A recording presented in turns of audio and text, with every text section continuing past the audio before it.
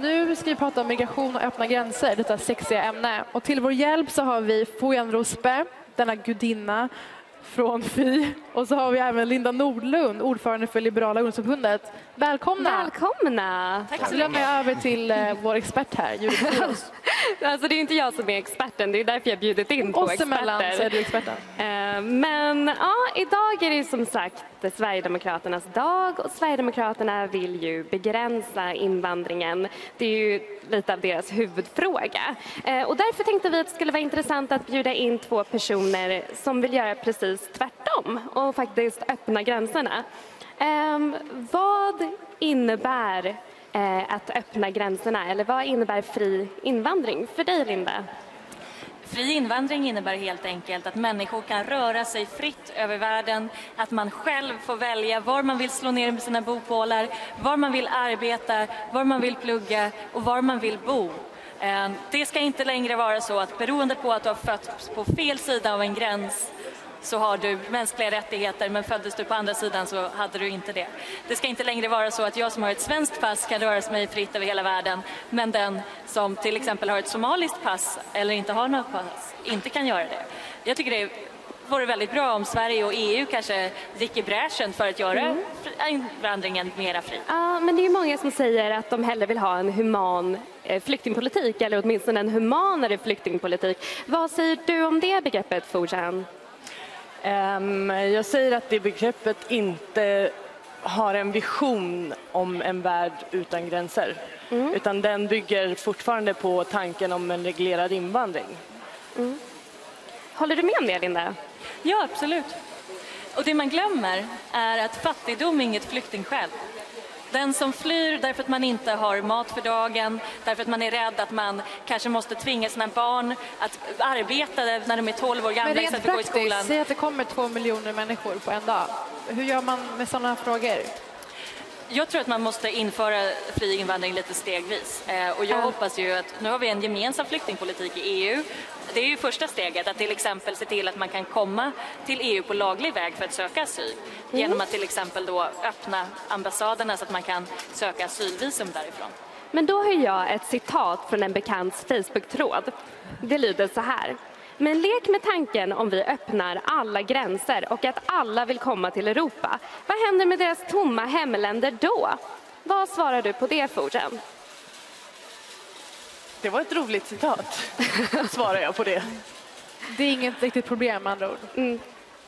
Att andra länder skulle vara tomma Blir och att helt folk skulle tomma. bara... Det, kom, eller liksom, det är så absurt påstående. Det blir som Så här- Norrland. Vad sa du? Det blir som Norrland. Glest. Om man ska svara seriöst på det så kan vi se att den genomsnittsmigranten enligt UNDP ökar sin inkomst med 15 gånger när man rör sig över världen. Eh, Det innebär också att man skickar hem pengar och hjälper släktingar, vänner som fortfarande är kvar. Det är faktiskt så att de transfereringar som är att migranter som är här och arbetar i väst och i den rika världen skickar hem uppgår till tre gånger världens samlade Men det här. Är en ekonomisk fråga för dig, eh, Linda? Eller, jag älskar att vi båda två bara hoppade på Ja, det. jag kände det, att den låg i luften. Ja. Nej, för mig är det en, en principiell fråga. Jag tycker inte att det ska vara politiker som bestämmer var människor ska bo och var de vill leva. Men sen är det också rent ekonomiskt så att det är effektivt. Alltså, vi, tror man verkligen på att bekämpa fattigdomen, vill man hjälpa människor i fattiga länder, då är det bästa sättet att öppna våra gränser och låta människor komma hit. Forsen, du ville säga någonting om det, ser jag. Nej, men jag tänker att remitteringar och liksom argument för öppna gränser baserat på eh, ekonomiska incitament inte fortfarande, det, det finns ingen vision där om, som bygger på eh, mänskliga rättigheter och eh, vi delar inte riktigt samma mål. Ja, även om, men jag tänkte på det, att ni två har ju väldigt oli- olika ideologisk bakgrund. Ja, precis. Men ni har ju väldigt olika ideologisk bakgrund, men ni verkar ändå enas kring att öppna gränser är någonting bra. Hur kommer det sig, tror ni? Fortsätt. hur det kommer sig att Att ni har väldigt olika ideologisk bakgrund, men ändå enas i frågan om öppna gränser.